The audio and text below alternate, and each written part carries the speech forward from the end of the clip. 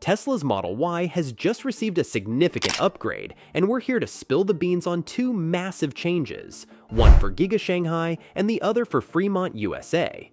In fact, these changes are set to revolutionize the Model Y experience forever.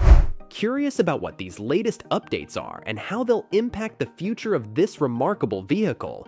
Stay with us to uncover the exciting details.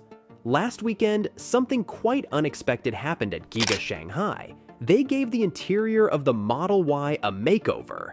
There were no hints or rumors about this beforehand, making it a delightful surprise. One notable change is the introduction of ambient lighting along the dashboard column. No longer will you find the same old material for the black or white interior. Say goodbye to wood trim. Instead, they've opted for a gray mesh fabric. What's interesting is that, based on online images, it seems to be the same color whether you choose the black or white interior, reflecting Tesla's commitment to manufacturing simplicity. Now, the ambient lighting may not be as significant a change as the one we saw in the Model 3, but it's certainly a nice touch. It's customizable, similar to how the Model 3 offers ambient lighting, although not quite the same way.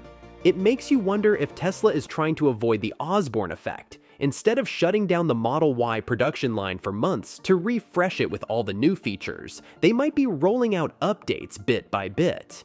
Perhaps they'll start with ambient lighting, then a few months later, update the headlights and taillights, and so on. We can't say for sure what their strategy is, but it's worth noting that Giga Shanghai typically gets these features first, followed by the North American market.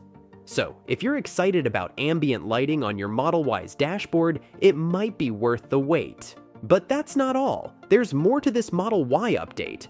They've also given the Gemini wheels a much darker look, which, in our opinion, is a vast improvement.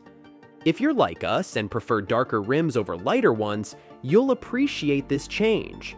Giga Shanghai not only serves China, but also exports Model Ys to Australia and Europe so there's a good chance these options will become available in other countries that receive vehicles from China. Now, let's address the elephant in the room. The rear-wheel drive Model Y is making a comeback in the United States. It feels like it's been ages since it was last available, and it disappeared from the site shortly after its brief appearance back in 2021. However, this new version isn't an exact match for the original standard range Model Y, which had a 244 mile range. Instead, this new iteration boasts a 260 mile range. This new rear-wheel drive Model Y is intriguing for several reasons. First and foremost, it's crossed the threshold of what Elon Musk considers an acceptable range, clocking in at 260 miles. Elon has been vocal about his belief that Tesla vehicles should have a range of 250 miles or more. However, it's essential to note that this range might dip slightly if you opt for the 20-inch tires. But here's the kicker. The 0 to 60 mph time for this new $44,000 Model Y is slower than its predecessors, coming in at 6.6 seconds. When we dive into the tech specs, we find that the vehicle still weighs well over 4,000 pounds. However, the peak charging speed is an impressive 170 kilowatts. While we don't have official confirmation from Tesla yet, as no one has taken delivery of this new rear-wheel drive Model Y, there's a suspicion that this might be equipped with a lithium iron phosphate, LFP battery chemistry.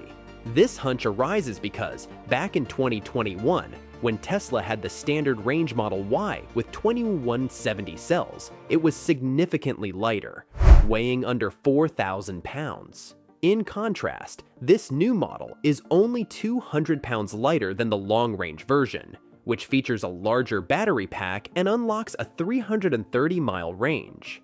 Given the weight, 0 to 60 time, and charging speed, all signs point to this being an LFP Model Y, but we can't say it's confirmed just yet.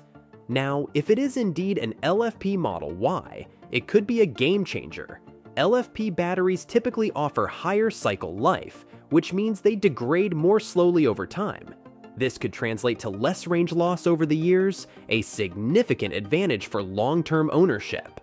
Furthermore, it's worth noting that unlike the Model 3's entry-level variant, this Model Y doesn't come with a partial premium interior. Instead, it features the HEPA air filtration system and the premium sound system, just like the long-range version. So apart from a somewhat lower range, if the battery speculation is correct, you're getting a fantastic deal with this new rear-wheel drive Model Y. In terms of the interior build, features, and quality, this new rear-wheel drive Model Y maintains some of the key elements that have made the Model Y a standout choice. It still comes equipped with a powered liftgate, providing convenience for loading and unloading. Furthermore, as per the information available on Tesla's website, this Model Y still qualifies for the $7,500 tax credit, a feature that wasn't available the last time Tesla offered a standard range Model Y in the US. Now, when you consider these incentives, this new Model Y might just be the most affordable Tesla ever made. This is a significant development, especially considering that the Model Y was already a best-selling vehicle globally and the best-selling non-pickup truck in the United States. With the addition of this more budget-friendly option, Tesla's Model Y sales are bound to surge even further. This is particularly exciting as it aligns with Tesla's ambitious goal of delivering over 1.8 million vehicles by the end of the year. Achieving this target will require a record-breaking quarter, and Tesla is known for pulling out all the stops during their end-of-quarter pushes. They often increase incentives to boost demand, offering free supercharging or free full self-driving FSD packages to entice buyers. This strategy tends to be effective in spurring sales. However, if you're considering holding off on your purchase, there's something crucial to note. The estimated delivery window for this new Model Y is already extending towards the end of 2024. Additionally, next year, the tax credit is slated to convert into a point-of-sale rebate, which means it's not just a credit off your taxes, but a direct reduction based on the actual vehicle purchase price when you take delivery. However, it's important to be aware that the IRS may change the battery material requirements for eligibility.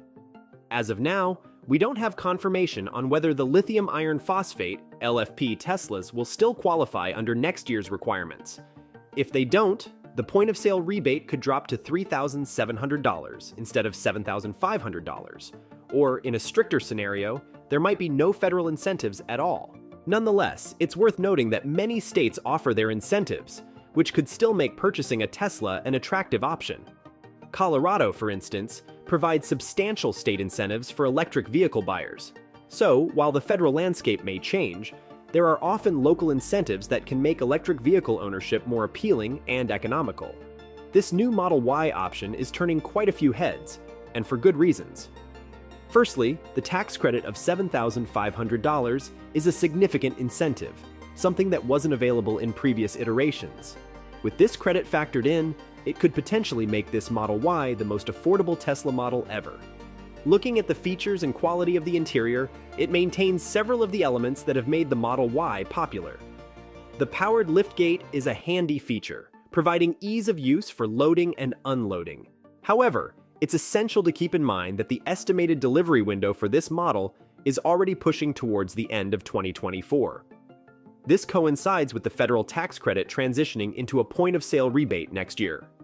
The rebate will be based on the actual vehicle purchase price when you take delivery. Yet, it's uncertain whether the IRS will modify the battery material requirements for eligibility. If they do, the point of sale rebate may drop to $3,700 instead of $7,500, or even vanish entirely if the requirements become stricter. But even with the potential changes in federal incentives, it's worth noting that many states offer their incentives for electric vehicle buyers, by plugging in your zip code on Tesla's website, you can explore the local incentives available in your area. Now, let's circle back to the Model Y.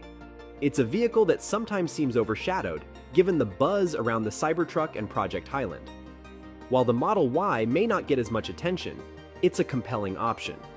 One can only hope that Tesla considers bringing some of the exciting updates from Highland to the Model 3 and Model Y in the US. While an ambient light bar on the Model 3's dashboard is a start, there's room for more enhancements. Ventilated seats, for instance, are a highly requested feature. China seems to be ahead of the curve, with the big Model 3 refresh and now the ambient lighting in the Model Y. It feels like we're playing catch up with Shanghai. The reintroduction of the LFP Model Y is a positive step, though we're still waiting for confirmation based on performance metrics. So what are your thoughts on this new Model Y option? Will it become the new bestseller, or will buyers still opt for the more expensive long-range version? How crucial is all-wheel drive to buyers? Share with us in the comments below, and if you enjoyed this video, show us some love by hitting that like button and leaving a comment down below. Also, if you're a fan of all things technology, be sure to check out this other video we've got lined up for you. It's packed with all the latest news, tips, and tricks to keep you ahead of the curve.